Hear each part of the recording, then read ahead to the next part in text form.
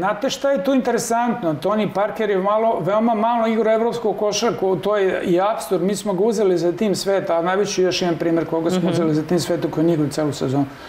Ovaj, a, a posle je isto draftovan igrač.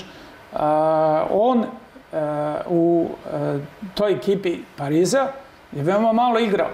I onda je njegova ideja bila da ide na koleđ. Aha. Njegova ideja nije bila da ide na NBA. NBA. Međutim, i on ima rodbinu na Čikagu. Došla ta utakmica, desila se godinu dana kasnije, se otvorio poziv Gre Popović San Antonio. Mi smo go, ja sam ga u Bostonu strela na jednom workoutu, bili smo Vlada Radmanović i ja sam iznenadio što će Tony Parker ovde. Pa kao ja ću, pa ni, verujte mi, on, on je tako loše šutirao, nije mogu trojku nijedno da ubaci tada. šta, šta donosi trening i sve to i u kakvog gasa je izrastao. Samo zahvaljujući tome što je otišao u pravu ekipu i bio pod pravim trenerom i u pravoj sredini koja ga je iznala do kraja. Kako zvuči kad se hvalite da ste gledali jednog igrača koji nije mogao da pogodi, a ne da je pa, pogađa. Pa znate šta, da, da. meni je krivo uh, da smo onda imali mobilna telefona s da kamerom. Da možete da snimite, da. Ja bi to snimio. Da.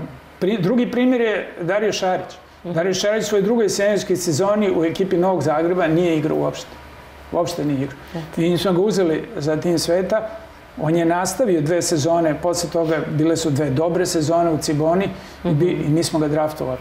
Mi smo ga draftovali i imao je izuzetno dobru sezonu, međutim to je ona druga priča o NBA-u. Vi možete da nje dve sezone izvanredno. Odigrao i kad je trebao da potpiše maksimalni ugovor.